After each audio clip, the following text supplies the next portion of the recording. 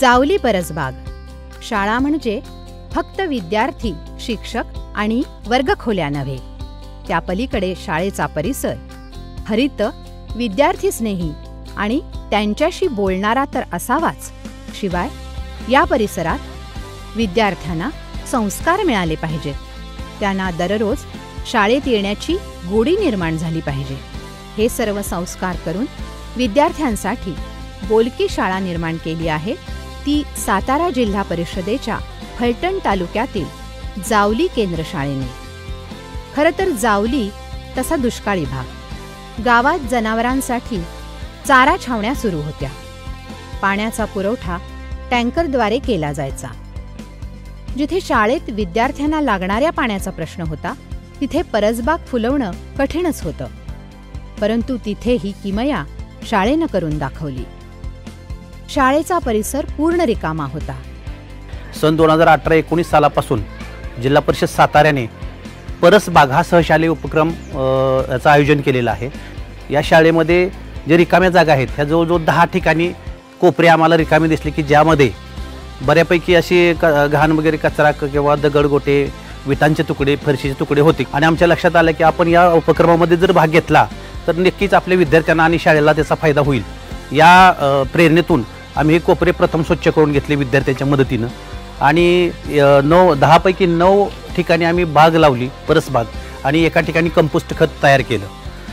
August सप्टेंबरमध्ये जेव्हा पाऊस पडला तेव्हा या निर्माण केलेल्या वाफ्यात कट्ट्यात भाजीपाला फळभाज्या लावण्यात आल्या. विद्यार्थ्यांनी या परसबागेला नियमित पाणी पुरवठा केला. जे सांडपाणी असतं पिण्याचं सांडलेलं किंवा हात धुवायचं पाणी तेच आम्ही आम आमच्या झाडांना टाकतो. या बागेत आता मिरची आलं वांग कोथिंबीर शेवगा टोमॅटो आणि अळू यासारख्या भाज्या असतात. सीताफळ रामफळ आवळा आंबा यासारखी फळझाडे दिसतात. शाळेत जो कचरा निर्माण व्हायचा त्यापासून कंपोस्ट खत तयार करून बागेला देण्यात येतं.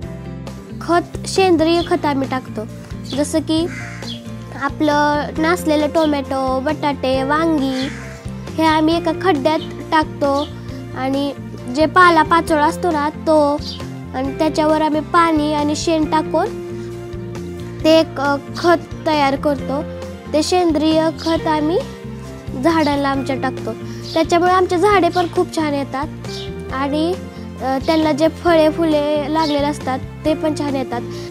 परसबागेतून उत्पादन हे किती निघतंय हे महत्त्वाचं नाही. पण विद्यार्थ्यांचे स्वतः श्रमशक्तीद्वारे विद्यार्थ्यांनी ती उभा केलेली परसबाग आहे हे महत्त्वाचं आहे.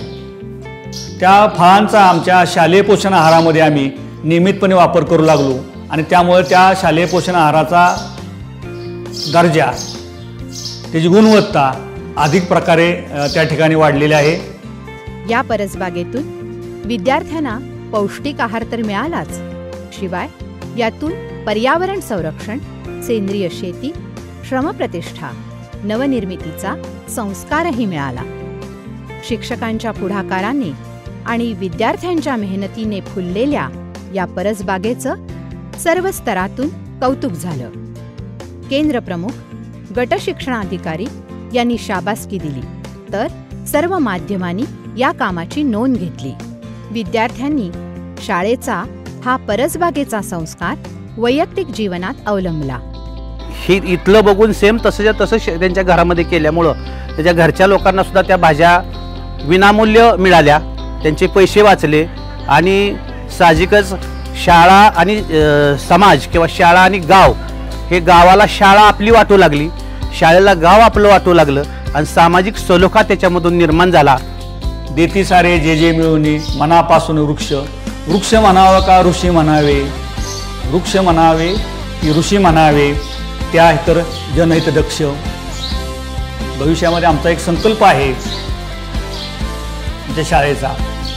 की जास्तीत जास्त परसबागेमध्ये ऋतुमानानुसार फळझाडांची भाजीपाल्यांची त्या ठिकाणी लागवड करायची आणि विद्यार्थ्यांना त्यामध्ये श्रमशक्तीची त्यांच्यामध्ये एक प्रकारची आवड निर्माण करायची. हा आमचा संकल्प आहे.